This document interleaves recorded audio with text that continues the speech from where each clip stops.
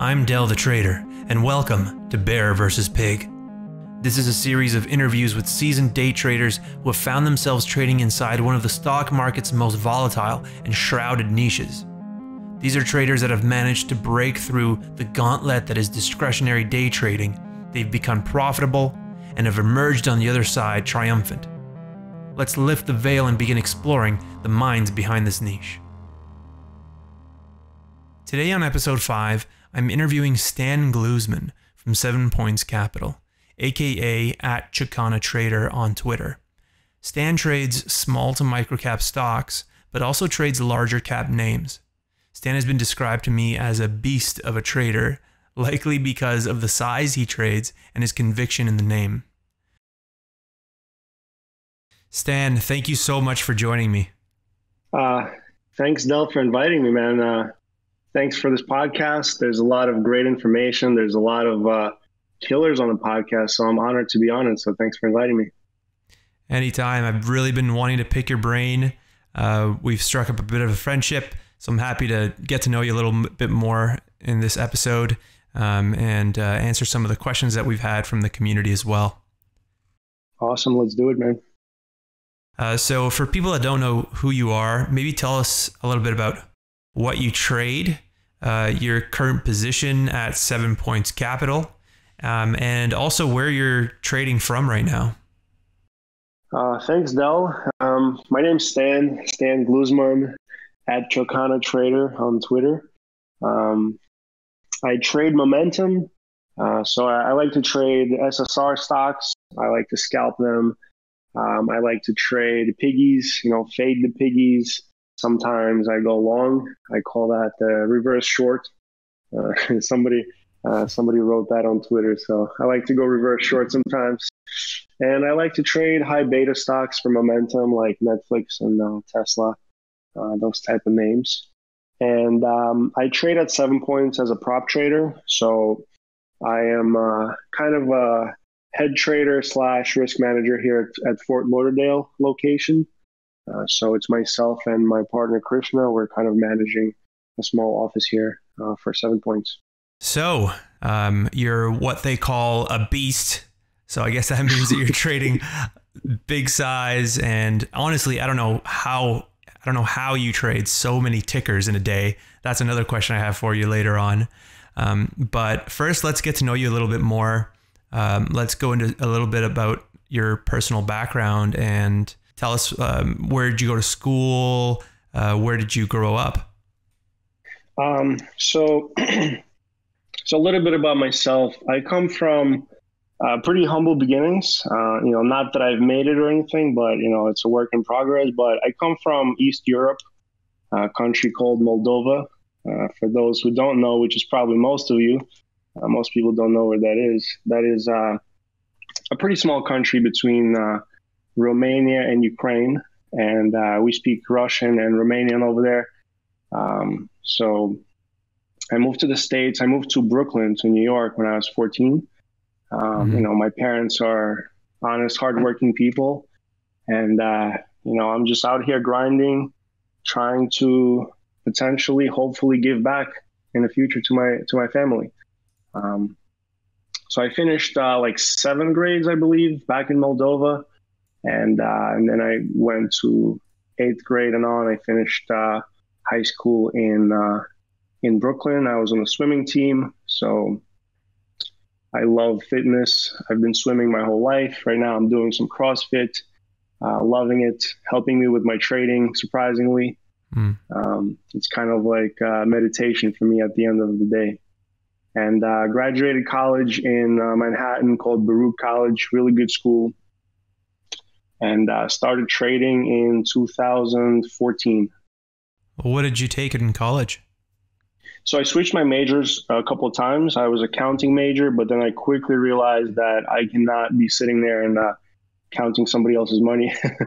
so I changed to economics and I enjoyed it, but I later changed to finance. So I jumped back and forth, but finance was something that I understood a little bit better. I was always curious about how money works, how money moves, and uh, it was I think it was the right decision. so coming from European descent. is Europe, right? Or is it? Yeah.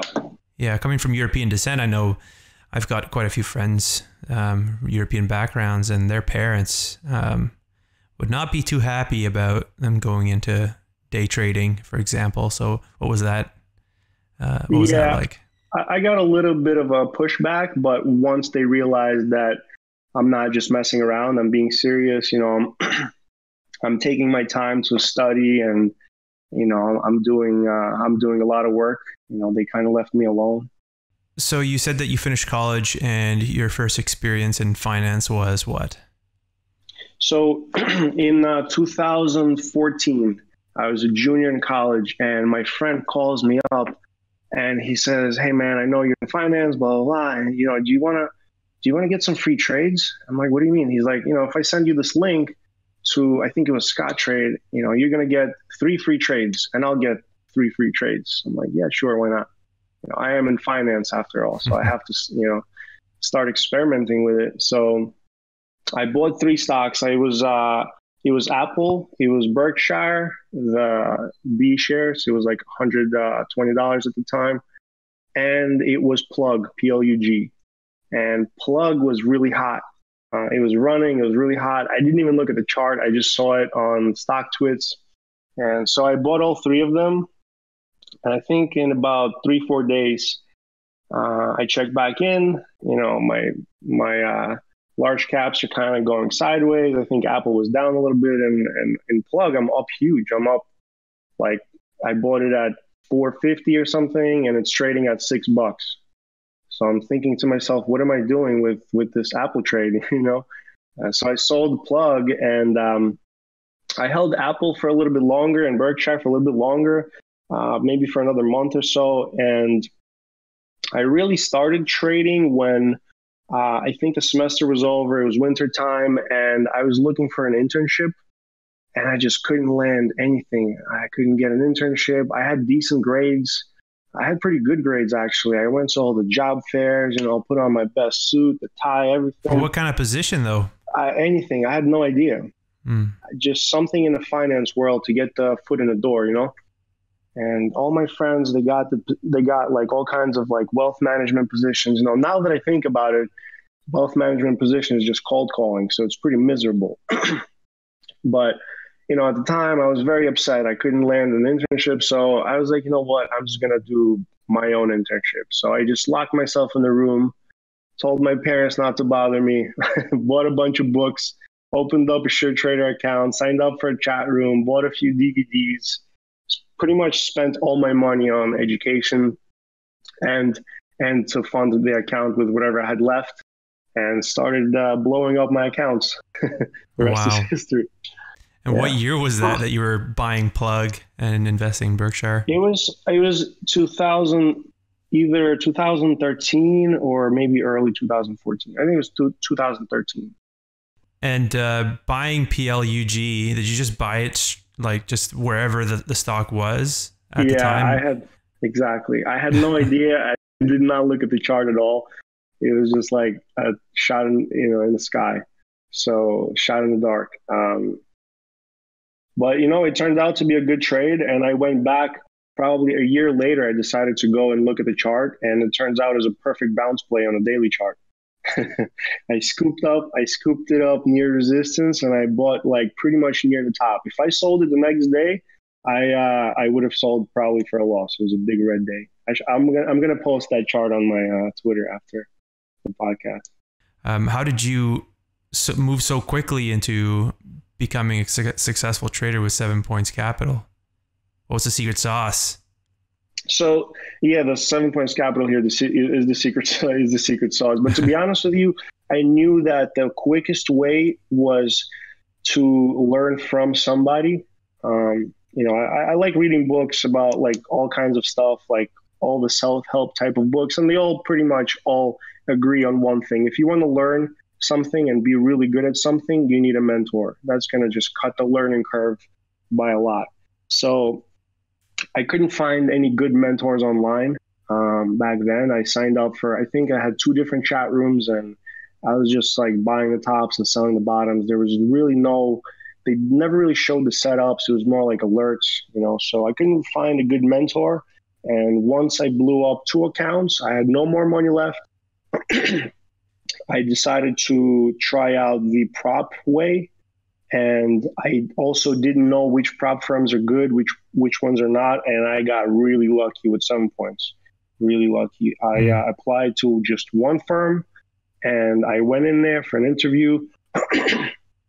I spoke to Mike Katz. He looked at some of my executions. He said, you know, he asked me some questions and he decided to, you know, to take me in and show me how to execute things the right way. So, um, you know, and you know, trading from seven points, it's like it's it's much easier um, because there's so many guys in there, and most of them are like not just consistently profitable. Most of them are killers, right? So, and and none of them are on Twitter either. So you can come up to any of these guys and be like, "Hey, man, like, what did you see here that I didn't see? You know, in this trade?" And he, he's going to show it to you. So it's really something you can't, uh, you know, you can't do if you're trading on your own, or if you have a mentor who's just an online mentor. And by the way, right now, it's it's uh, a little bit easier with that because there's so many legit guys. I mean, you interviewed Smash, you interviewed Mike, you interviewed Jay Trader. These guys are all great mentors. Um, so right now, it's a little bit easier with that. But back then, I couldn't find any. So yeah, I mean, having Mike Katz as a mentor you know, off the bat, that's pretty amazing. That's a good edge. and so, being surrounded by so many good traders, you you basically went into that firm uh, with what level of knowledge about the market? Um, so I at that point I've already day traded for about seven months, part time. I've read a bunch of different books on technical analysis. I've I've spoken to different traders uh, on Twitter. So I had a good understanding of how the prices move. And at that point, I was pretty much a break even trader, but my commissions would eat through my, uh, you know, my, my capital. So I, I knew like basic stuff like, you know, buying near support and selling near resistance, cutting losses quickly, you know, like wedge patterns and like very, very basic stuff, but nothing really like no microstructure, no knowledge of emotional awareness, um, like execution, routes, any anything like that. So there was a lot of work done after I joined Seven Points. What would you say was your turning point? Like at what point, uh, being part of the firm, or maybe in the months before that, before you joined the firm, did you sort of have an aha moment? So the turning point was just putting myself out of the comfort zone um, and just doing kind of doing the right thing. Um, like for example, I would when I joined Seven Points, I would trade. I would keep trading these low floats that I traded before, but the guys there never traded those. They traded more mid caps. They would trade more large cap, mid caps, like cheaper ones, but with a, with high volume. Um, they would trade like Sprint and Siri and stuff like that. Ford um, things that were cheaper, but they were moving with high volume. Um, so, you know, and I kept tra- trading these like piggies and I couldn't really be profitable in them. And one time, Katz, my Katz just put me in a trade, like forced me in a trade. He said, Hey, Stan, he's like, What's your uh, max uh, size? And I don't know, it was like a thousand shares or something. And he's like, All right. And he shipped me a position into my account. He's like, All right, manage it. Wow. So, and I ended up losing like a ton of money in that position. So he took the loss. Uh, but that's when I realized I'm like, all right, I, I got to start, you know, like, cause, cause everybody's killing it in that stock, but I just lost like everything, you know, I could lock myself out of my own account. So that's when I started really learning about um, execution. So when you say he shipped you into a position, how does that work exactly? He you walk us so, through what that's like? so he has a so you you have a regular account, right? And then there's also like a manager account that sees all the accounts. So he can, you know, buy a stock, grab those executions, right click on it and say ship it into a different account. Oh my god. That's uh, yeah. uh, scary. It's fun. And the the objective of that is to throw you into a position where you're managing risk. Yeah, to to throw you into a position. Yeah. So, um, yeah, so it, it helped me a lot, man. There, it was. I saw a proven path. I saw guys killing it. You know, I saw guys trading and killing it, and I and I looked at them and I said, you know, if they can do it, it's possible. So I can do it too. All I got to do is is just to ask a lot of questions and try to eliminate mistakes, right? And you know, there's the, some of the best tools out there. Like you have the you have all the software, you have the internet connection that's really good. You have, you know, you have all the perks and stuff. You have all the capital in the world. You're not, you know, you're not undercapitalized. So when I came in, I didn't have to put up any of my own capital. I didn't have to pay for borrows. I didn't have to um, pay any commissions. Hmm. Nothing, right? So that allows you to that opens up doors to new strategies like you don't have to go for for three five ten cents to make a profit. You can go for half a cent or even a, or even a fifth of a cent you know? So rebate trading we've done a lot of rebate trading too. So starting from microstructure and then just building building it up. So trading bigger size comes from you know experience from doing rebate trading where you know I would sell I would buy a hundred thousand shares on the offer and sell it on that same offer you know at the same price but I would buy it on a rebate exchange and sell it on the rebate exchange so I'd make like you know a quarter of a penny and trade a hundred you know two hundred thousand shares so wow. yeah different strategies like that that don't really work anymore so everybody started branching out to other strategies. so there's definitely clear benefits in starting to trade with money that's not your own money. I, did you find that you were more emotionally in control and were able Absolutely. to focus on your strategies? Absolutely. When I was worried about losing money, um, somebody, one of the senior guys, told me like, "What are you? What are you worried about? It's not even your money. Like, who cares? You know, you lose lose some money. It's not even yours, so who cares, right? So that that that mindset really helped me. I'm like, you know, I, am not, I'm literally not any of my own money. So if I fail, you know, it's it's already like it's company's risk, and they assume that risk. You know, so much easier to trade with somebody else's money for sure. Uh, so, you know, this is really interesting to me because honestly, I haven't really met a lot of people that have gone through the prop trading experience. And maybe I should have asked you this at the beginning, but can you tell us what Seven Points Capital is? Maybe a little introduction to it for the people that don't know uh, what it is.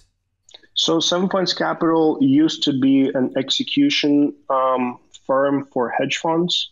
Um, I wasn't around back then, uh, but I think Mike Katz was kind of the main guy who was executing for hedge funds. So some they would call him and be like, "All right, buy, you know, a million shares of the stock," and he would just you know find the most efficient way to execute it.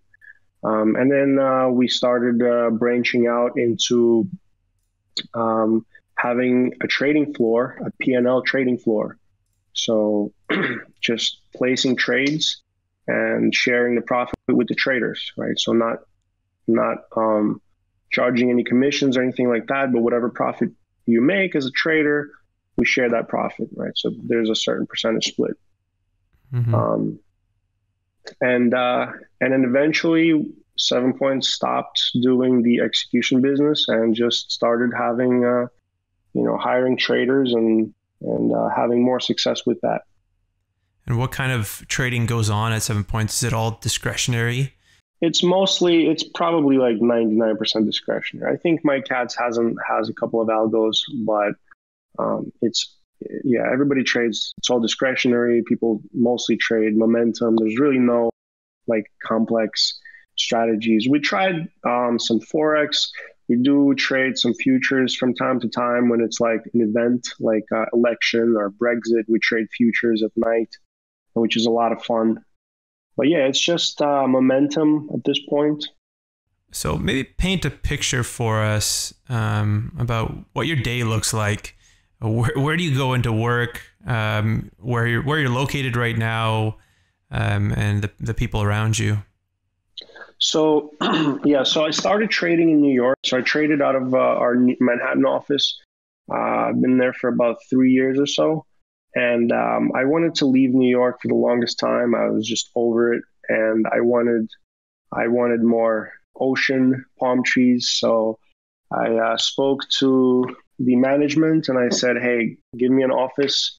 I'm gonna hire some guys, have an office, have a team somewhere else." And they suggested uh, Fort Lauderdale. So myself and another trader, Krishna, we moved down to Fort Lauderdale and we have our own little office here. We have a couple of traders that uh, we're mentoring. And uh, yeah, we go into the office. I personally go into the office at about eight o'clock and, uh, you know, start uh, doing some scanning and then everybody slowly rolls in by like 8.30 um, and we're kind of doing a little pre-market scanning and talking about the setups, talking about the news, and everybody's kind of doing their own little um, research.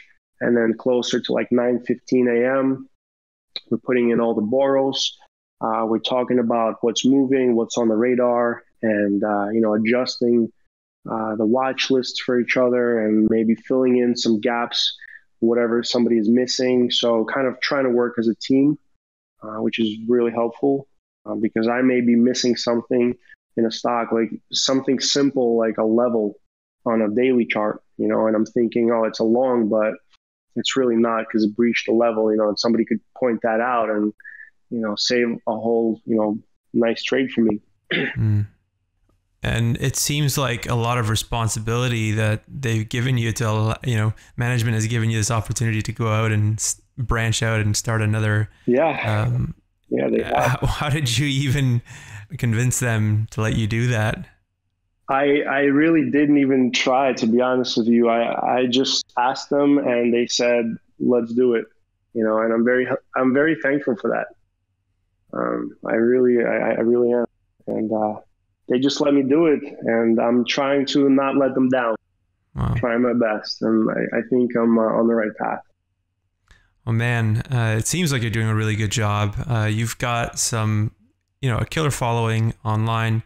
Uh, people have a lot of respect for you, and I think it's because of all the transparency in your trades. And on YouTube, you're posting these trader takeaways. I, I think what you call yeah, them. Trader takeaways. Um, but I treat I treat those takeaways as my own journal. So I'm trying to be honest with myself when I'm on it. You know, when I'm recording, I'm trying to be honest, trying to point out my own mistakes, you know, as if I'm just talking to myself. So, um, and people people like that, you know. You can't be just showing your your winners because you're uh, you know you're not honest with yourself. You know, you have to be humble.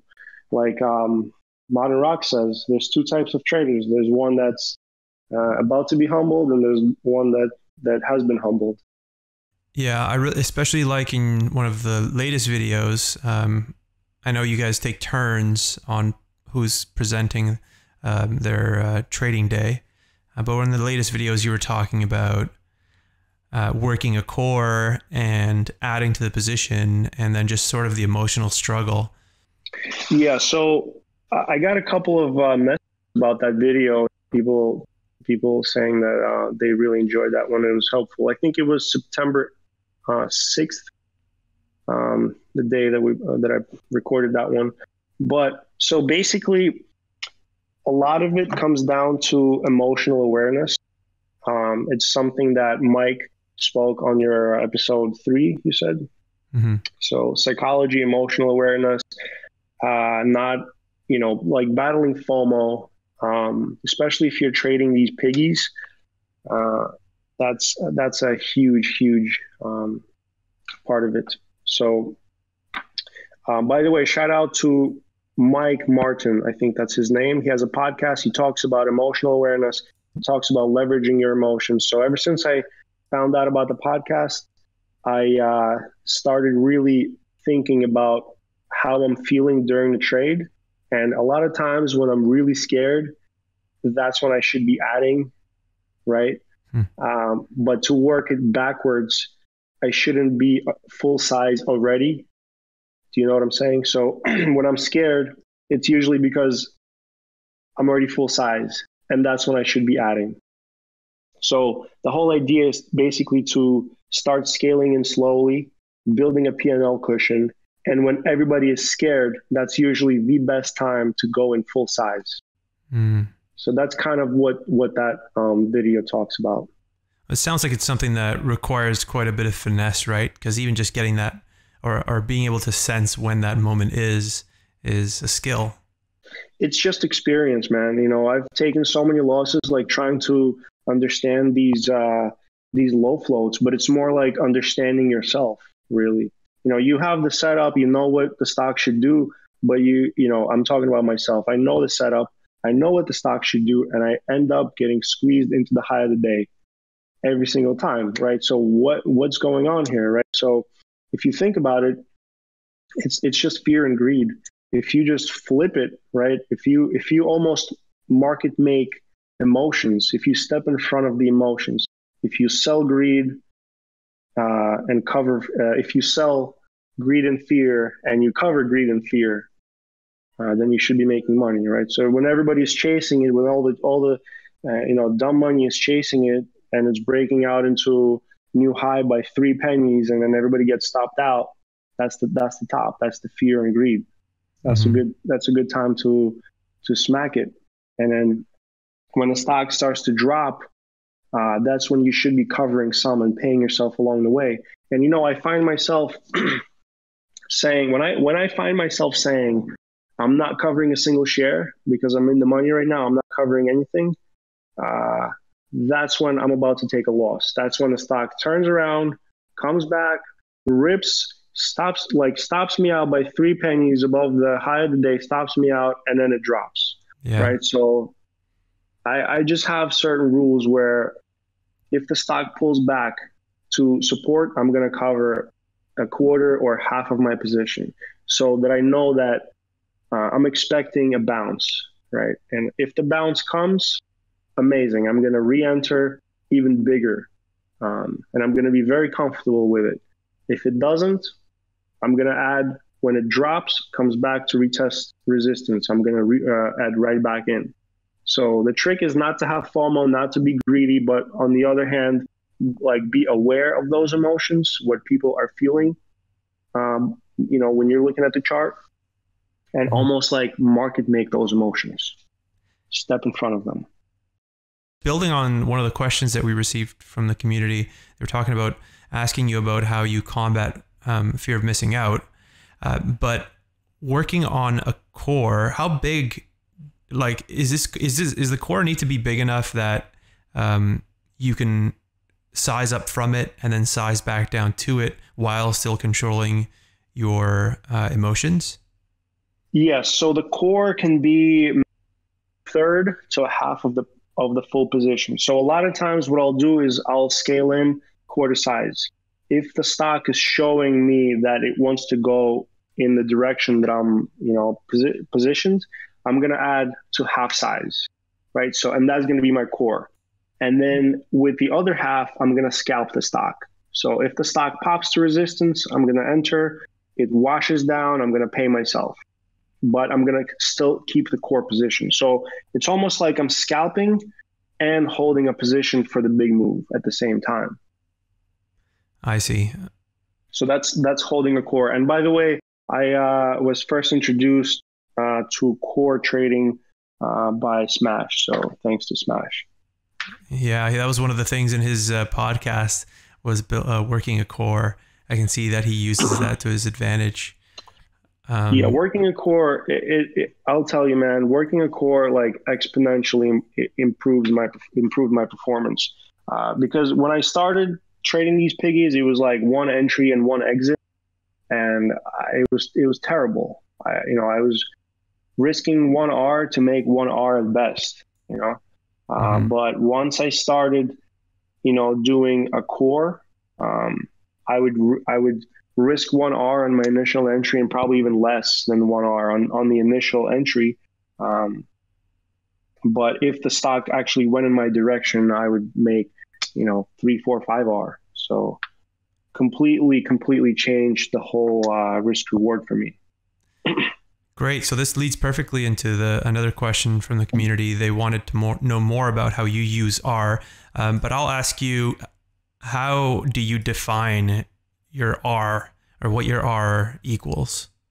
It, so my R is based on the conviction um, in a trade. If it's a setup that I've taken multiple times and I have uh, maybe even a spreadsheet that that tracks that setup and it lines up perfectly, then uh, my R is going to be much bigger than uh, you know anything any other trade. Mm. But yeah, it, it it comes from a conviction, B liquidity. How big can I get without you know actually moving the price? Yeah. So in a stock like MannKind, for example, that was that was an A plus setup two days in a row, and uh, I went in. I probably should have went in bigger. Uh, I went in full size, but the stock could handle a little bit more. you know, I could have went a little bit heavier. Um, but yeah, liquidity and conviction. Can we talk a little bit about building conviction? What do you use to um, increase your level of conviction in a trade? So, all right. So there's we can break that up into a few different sections, but I mean that's a very big topic. Uh, that's ultimately the goal, right, of every trader is to to have the, enough conviction and uh, to be consistently profitable. So, so first of all, um, you you need a process. That's something AT09 started talking about, and um, process. Uh, I keep it very simple, just looking for setups, um, scanning, drawing lines, uh, and journaling at the end of the day, journal, journaling the, the trades. So I track my setups. I have spreadsheets for every um, for every setup. I have a spreadsheet that pretty much just tracks the numbers. Like for example, um, if it's a breakout um, setup, um, I have certain criteria. Is it in a strong sector? Is it tight on a daily chart? Is there a good catalyst? You know, if those are all checked off, then you know it, it it's a potential breakout, uh, right? So then I track the performance. How far does it break out on average? All those all the stocks that meet that that criteria. You know, it goes up. Let's say on average, I tracked 50 of them. On average, they go up five percent take a couple standard deviations, anywhere from four to six percent, they go up. Then they pull back on average four percent, right? And then they stabilize and then rip ten percent. So when I have that data, I know what to expect. So when the stock rips up five percent and pulls back seven percent, I should be stopped out. Mm-hmm. But when the stock rips up five percent and pulls back four percent, as my spreadsheet tells me, uh, it's a healthy move, and I know that I can buy that dip with full size. So that's my conviction when the stock is actually doing exactly what I'm expecting it to do. And for that, I use I use Excel. I use numbers. I run regressions, and and for every setup, I have a bunch of numbers that are backing it. So when it lines up, I uh, I don't think twice. I just I just go in. I think that's one of the most common things that I find about successful traders is um, how diligent they are in keeping the data as it relates to their trading setups, as it relates to the market they type they trade, um, and all sorts of other factors that I would never think of, including emotional factors. Right? What kind of things should people be tracking if they have, uh, let's say, a few longs and a few shorts? well, so what I track is basically time and percentage uh, move move in terms of percentage. So you know if the stock rips up five percent within uh, 30 minutes, you know that's that's something that I'm going to record, and and that's pretty much it. You know, just keeping it very simple mm-hmm. and running like knowing the numbers, and knowing what a failed breakout looks like also you know so so you know what to expect on both ends knowing how many of them follow through how many of them fail and at which point it's a failed breakout. So the numbers you know you'd be surprised but those numbers actually um, they they help a lot. That's a huge edge for me. Yeah i've got very few setups. I, I have three setups and then i've got a couple that are out of out of the textbook, uh, basic setups that I will trade if they show up. Um, and I've been tracking those for a long time, and I've realized that uh, basically the first week I had enough um, data inside of that spreadsheet. Uh, I realized that I was making better decisions because I was thinking more about the statistical edge as a whole as opposed to that one in particular trade. You don't need a lot of setups. You don't need 10 setups. You know, you get distracted. Three setups, four setups, two setups, doesn't matter. If you have a couple setups that potentially present themselves every single day, you, you can have, uh, you know, you can be a very consistently profitable trader. So mm-hmm.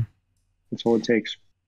One of the questions that we received from the community was um, how many long strategies and how many short strategies do you have? So how many setups do you have, and um, how do you how do you differentiate them? um, I have a lot. I have a lot. I don't track them all. I just don't have time to track them all. Um, I do uh, use TraderVue to track uh, like most of them. Like I, I, tag them, so I have a lot, and I can see like which ones are performing good, which ones are, are not so good.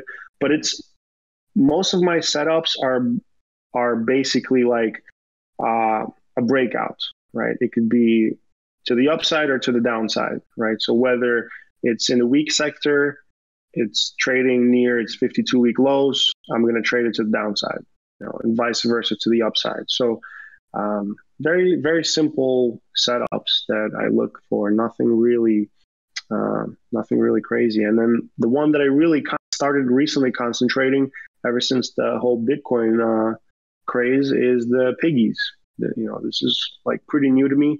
I've blown up a couple of accounts back in 2013 trading piggies, and it was always like in the back of my mind, I had to figure them out. And um, you know, in January, I think I started trading those piggies, um, and started tracking them, and uh, I think uh, I think I'm all right. yeah, I think I'd say you're doing okay.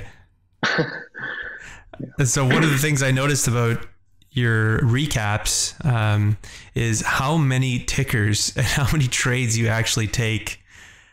Uh, how is it that you were able to take so many trades in the market? Um, and how many trades are you doing at once? Um, man, if you think I'm tr- I'm doing a lot of tickers, you should see some other guys. Uh, I've seen uh, Krishna. I trade with Krishna. He he could trade uh, 15 tickers at the same time, no problem. But um, yeah, I, I, can have maybe I can manage comfortably maybe five, five, six names. Uh, I usually have five, six open positions every single morning.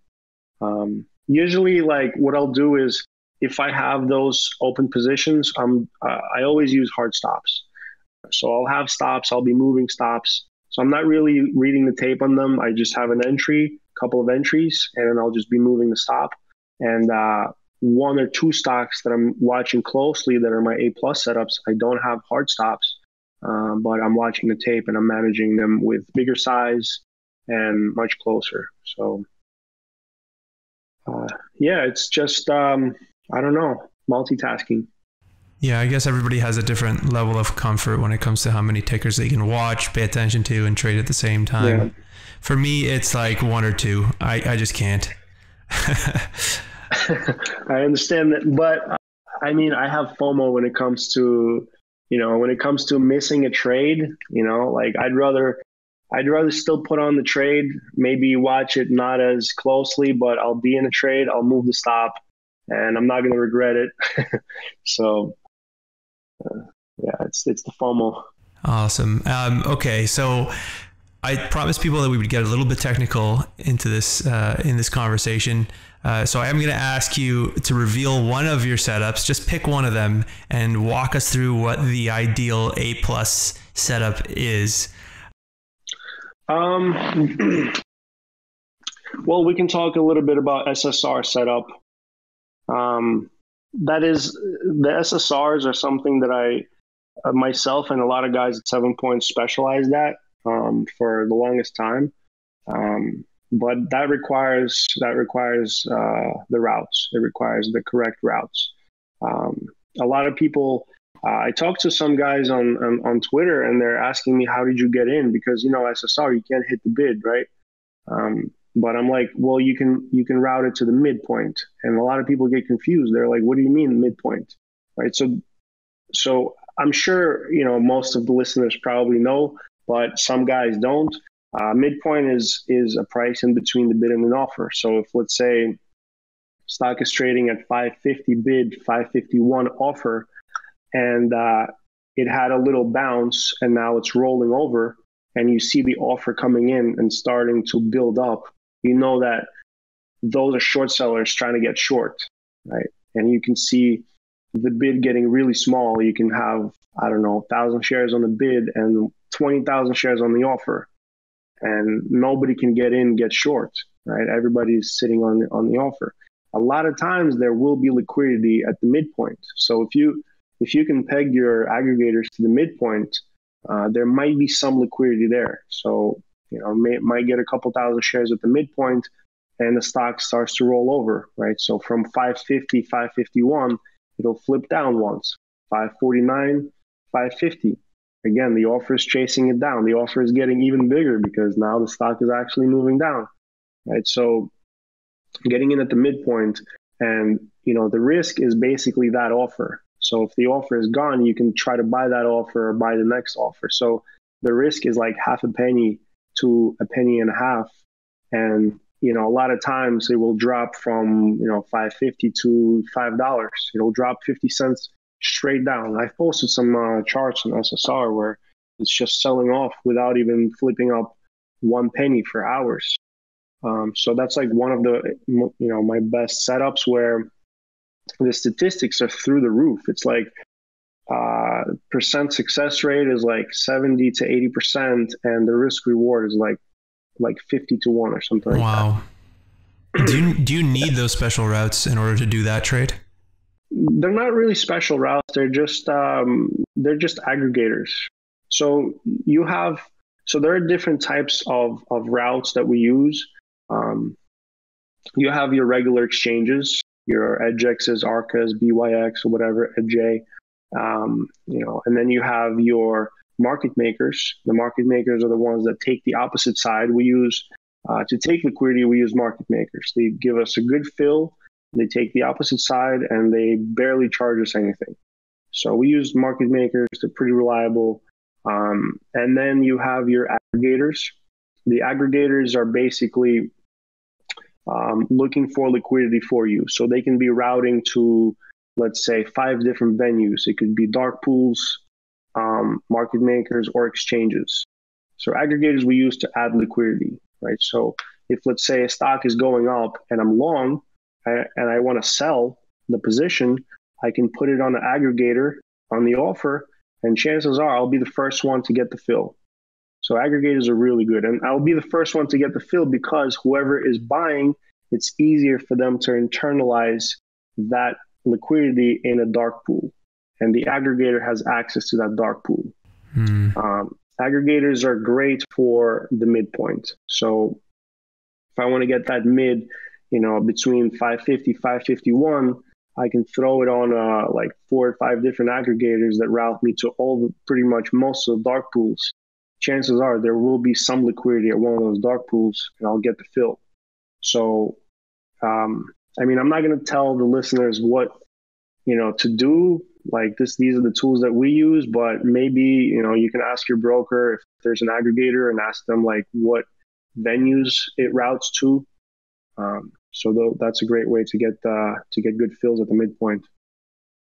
Wow, that's great. I, I really like the idea of um, using those dark pools to your advantage because anyone that's um, that's read um, any of the Michael Lewis books or you know Flash Boys or um, Dark Pools, obviously knows that it's sort of like cheating. I, you can call it cheating, uh, but you know, if you're able to tap into that as an individual investor, whether it's a phone call to your broker or whether it's joining a prop firm that will allow you that sort of flexibility, I think that's that's really cool and really advantageous. And and you know what, uh, all the power to you because that's it's just another way to try and find that edge in the market. Yeah, dark pool. We use dark pools all the time. We also have we have direct access to uh, a bunch of different dark pools. And if you if you watch the tape, sometimes you can spot uh, pretty weird prints. You do have to enable on your time and sales. You have to enable like where it's going, the market is going to, and uh, like on my dark on my uh, column it says D if it's dark pool. So I'm watching like where the execution takes place. So if it's a dark pool, it says D, right? So I can throw orders to let's say 10 different dark pools and see which dark pool executes.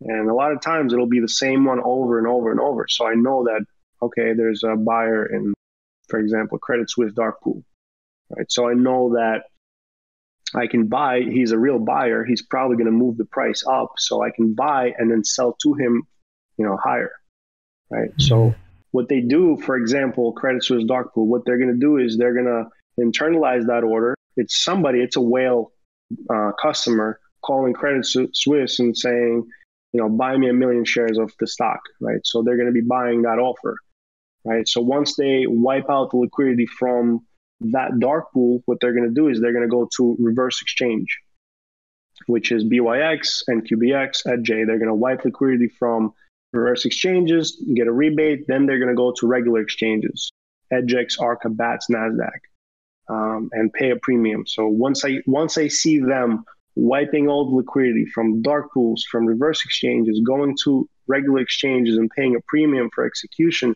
I know that that is a big buyer and I'm loading up on the long side. So yes, and knowing knowing which buyer it is also gives me an edge even for the next day because if for example a stock gaps down next day and the guy starts to sell, you know, I see a seller on the tape and it's the same dark pool, I know approximately how much he has, you know, so I'm like, well, yesterday he bought about half a million or a million shares and he moved the price up 3%. So 3%, here we go to the downside. For normal retail investors like or retail traders like myself, um, how can I get access to that type of action? Uh, is it readily, readily available? Like imagine somebody is just using, uh, you know, SureTrader, DAS Trader via, you know, Centerpoint or Cobra or whatever. Yeah. What do we do? I don't know. I, I think we're out of luck, right? I, I, I don't know. You can call the broker and ask them for. I think aggregators are the way to go because aggregators usually aggregate those dark pools. Mm-hmm. Um, and uh, you know, if you do have those good aggregators uh, on the execution, you in the execution column in your software, you can normally see uh, contra broker who you executed against. So if you're getting an execution through the aggregator. And on the contra column, it says Credit Suisse over and over and over again. Then that's the dark pool. It's the same guy, except you know you're not executing directly to dark pool. You're executing through the aggregator. Yeah, like the amount of information that you're able to take in if you if you've got access to the right data and um, uh, the right routes. It's just it's such an edge um, to be able it's to play just, that. Yes, it's just another edge. It's a big edge. Uh, but to be honest with you, it is slowly but surely going away because these algos are getting smarter. And a lot of times they mix it up. They're not buying, you know, 2,000 shares every 13 seconds anymore that, you know, they used to be so predictable a year ago. You know, they're not as predictable anymore. So it's slowly going away. So, but it's still sometimes we some sometimes it's a very clear edge for sure. Well, I would definitely recommend to people that are listening to give their broker a call and at least to tell them that they want to see full level two data on all of the exchanges they possibly can. Um, because I know that, um, you know, at a basic level, the level two data that you get um, as um, uh, Bao pointed out in one of his videos, um, one of his live streams, is uh, it's pretty limited. So you might have to pay a little bit extra, but at least you'll be able to see that full level two, and you'll be able to see who you're trading against. That's a good advice. Yeah. Um, okay, so let's move on to uh, a topic here, um, just a little bit less technical, um, but still super uh, important for building conviction and getting that consistency in trading. Uh, let's talk about journaling. Uh, what can you tell us about journaling? Do you do journaling, and to what extent? Um, so, so journaling, I I recommend journaling to every new trader. One hundred percent keeps you honest.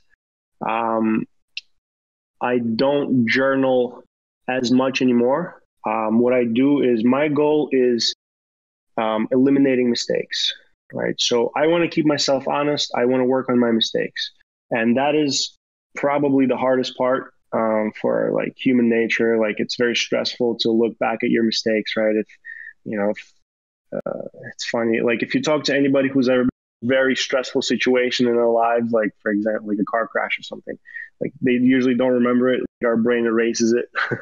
right? So our brain try, our brain tries to protect uh, us from uh, going through that stressful event again. But uh, my my goal is to figure out what went wrong. If you know, if I took a big loss, um, whether it's writing about it, whether it's going um, for a long run, and for me, that's that's like meditation. I go for a long run and I think about the trade very deeply and I think about what I was feeling at the time of the trade when I was, you know, getting in, getting out. Was it FOMO getting in? Uh, you know, was it scared getting out and stuff like that? And then, you know, I usually write about it in, um, you know, in my own journal. Uh, so I don't, I don't really journal like every day, but I do, I do try to eliminate mistakes when I have big mistakes. Um, and also building a database. I mean, that's probably uh, part of journaling where I'm tracking my setups at the end of the day, putting in the numbers. But I think journaling is important.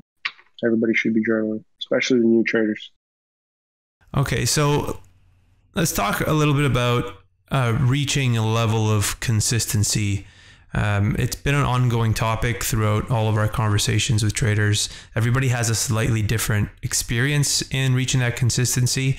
Uh, so I want to start asking everybody, you know, what was what was? Uh, can you tell us in detail, like the first time you actually reached that consistency, what it felt like, and how you got there? Um, you know, I don't exactly remember what I was feeling and and how exactly I got there, but I can tell you that um, sometimes I fall in and out of consistency. It happens. Unfortunately, it happens. When I get sloppy, you know, I have a couple of red days and I could be red on a week. And um, you know, if I'm down in a week, then I, I did something wrong. I'm not consistent anymore. So over the weekend, I'm really, I'm a little bit worried, right? So I'm going back to journaling, going back to basics. But consistency, we can break it up into a setup knowing the setup, knowing what to expect in a setup. If you're trading, you know, those piggies, you're trying to fade MannKind, you should know what the what the stock can do. It can rip through the high of the day easy and stop you out, you know, three cents above and then drop. So uh, knowing the setup and then knowing your role within that setup, right? So being aware of your emotions and and managing risk, and you should be able to um, consider that the stock can turn around and rip through the high of the day and stop you out by three cents. You should consider that into the risk management and be aware emotionally that in a pullback you should cover a little bit. So it's the little things like that. So knowing your role within the setup and knowing the setup and probably the most important thing is just doing the right thing. Right. So for me, um, I ask myself, in every single execution probably that I place, in the back of my mind, I'm asking myself, what's the right thing to do? And this applies probably to life as well. You know, what's what is the right thing to do? Do that. It's very hard when the stock, for example, is downtrending and it's bouncing and testing resistance. I see so many traders making this mistake. They will cover some because they're like, well, it's testing resistance. It's probably going to break out, and I'm going to give back my unrealized PNL. But no, like it's not. It's not the right thing to do. The right thing to do is to add. It's at resistance. Just add. Mm. Stop looking at the PNL. Stop worrying about giving profits. It's at resistance. It hasn't breached it. Add. That's the right thing to do. Right. And it's really, it's sometimes it's really, really difficult. Uh, all, all, all sorts of demons are telling you to cover it, but you got to just add. You got to man up and add. Um, and that's that's really it. Just doing the right thing. And if you haven't done the right thing, at the end of the day, be honest with yourself. Look at the mistakes, acknowledge them, um, write about them, and make sure you never repeat that mistake again. It all comes full circle. You know, you do. You don't have to do everything right, but if you do most of these things the right way, you you will reach consistency. It's really not it's really not that difficult. Yeah, the drawdown period inside of um, a consistent trader's uh, P&L uh, chart, let's say for the month or the or two months, um, everybody has drawdowns, and those drawdowns, you know, the bigger they are, the I, I find the the further back I have to go into my own um, psyche and into my own strategy to just go going back to the basics to really just gain my um, my foot my foothold again in my strategy. Um, you find that uh, true? Absolutely. Going back to basics. When I'm struggling, if I have two red days, you know, my cats told me that once. If you have two red days, you got to change something, right? So if I if I have two red days, I'm going back to basics. I'm sizing down. I'm trading very conservatively, you know, shorting near resistance, covering near support. That's my trade. Small size, just getting some green on the screen, and then I can get fancy. So for sure, just going back to basics, keeping it simple. Um, and you know, most of the mistakes usually come from just psychological, uh, like ego, like you know, psychology. Like your ego gets in the way, and you start throwing some ridiculous size, getting irresponsible, getting sloppy. You know, maybe you're tired or something like that. Mo- most of the time, it's it's psychological. So going back to basics really puts me, you know, back in that frame of okay, trade trade well, do the right thing. So yeah, I agree with you on that. Yeah.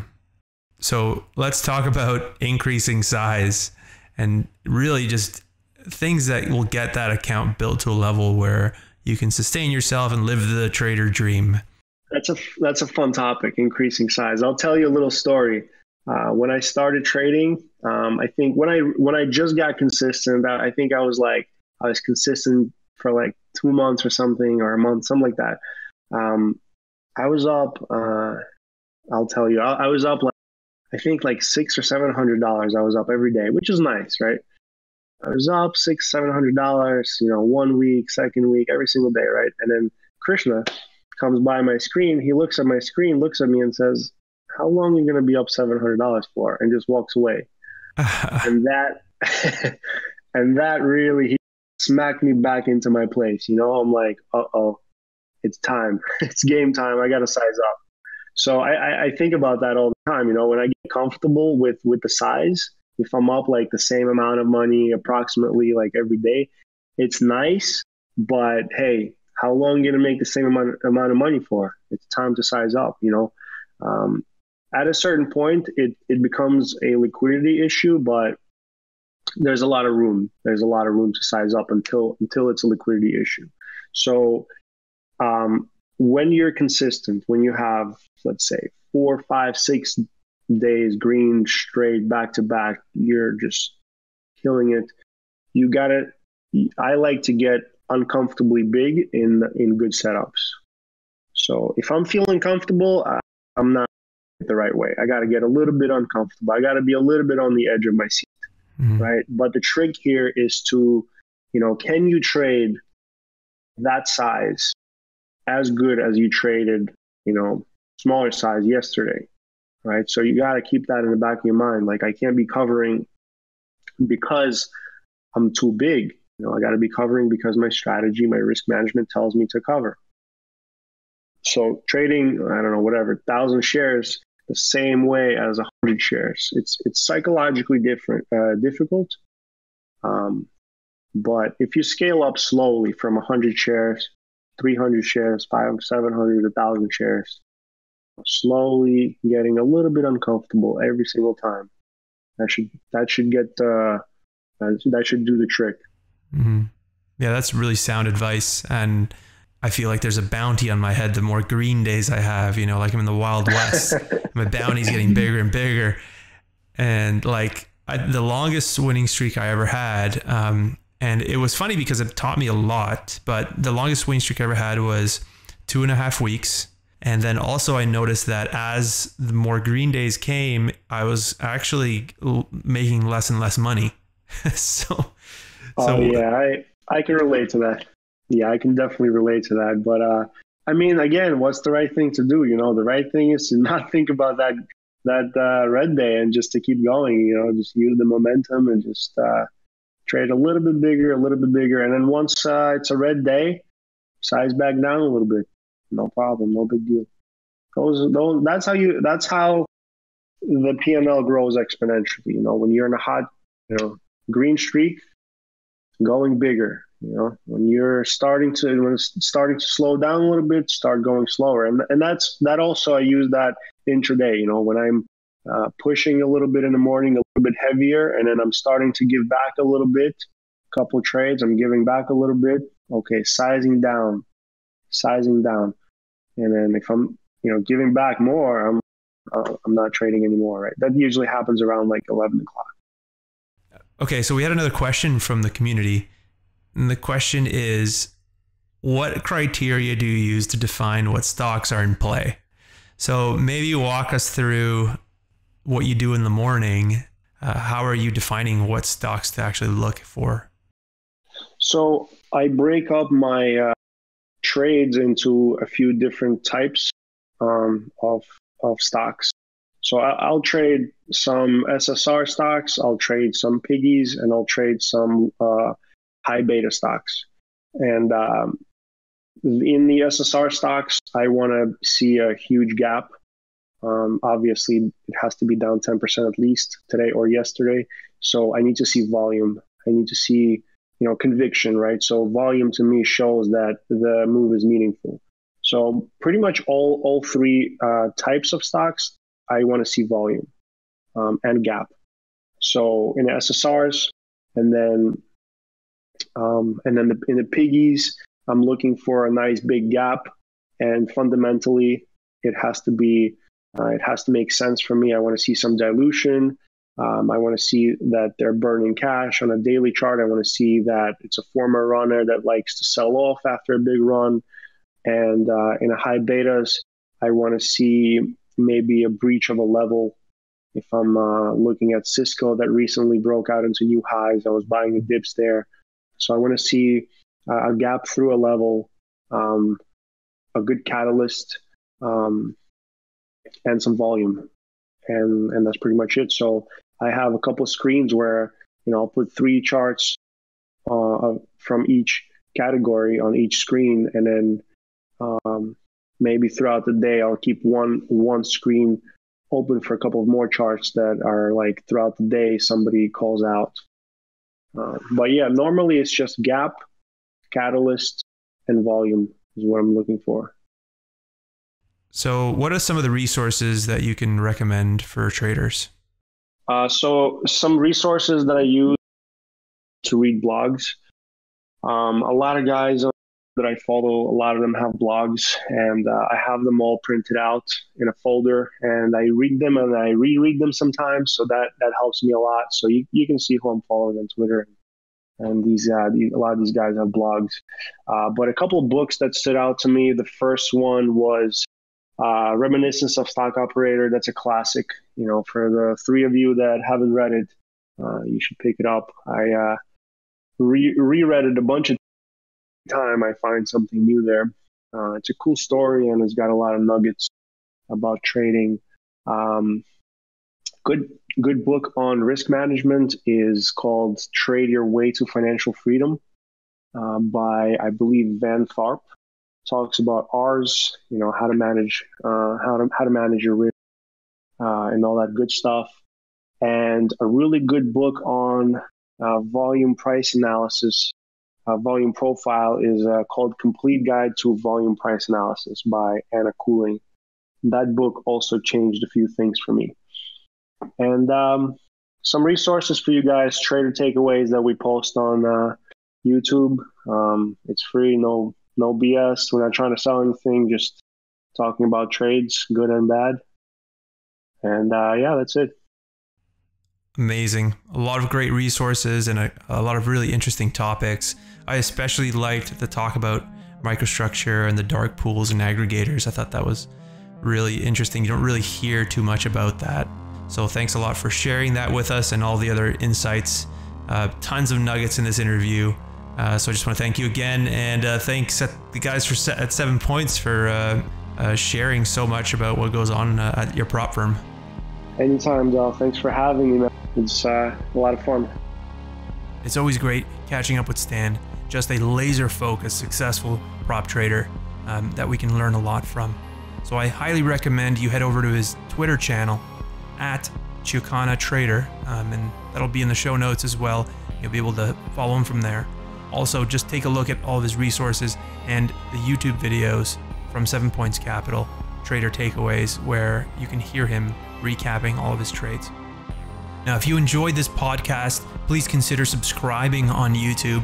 Follow me on Twitter at Del the Trader. You can also find us in a whole bunch of different podcast services. You can head over to activetraders.chat where you can see the article and the resource links uh, and all of the show notes. And ActiveTraders.chat is actually a community where I screen share, trade live every day with members, and we teach market auction theory, uh, volume analysis, and advanced order flow analysis. And if you have any comments or questions or suggestions on what you want to hear on the show next, uh, be sure to follow me on Twitter and you can message me there as well. See you in the next episode.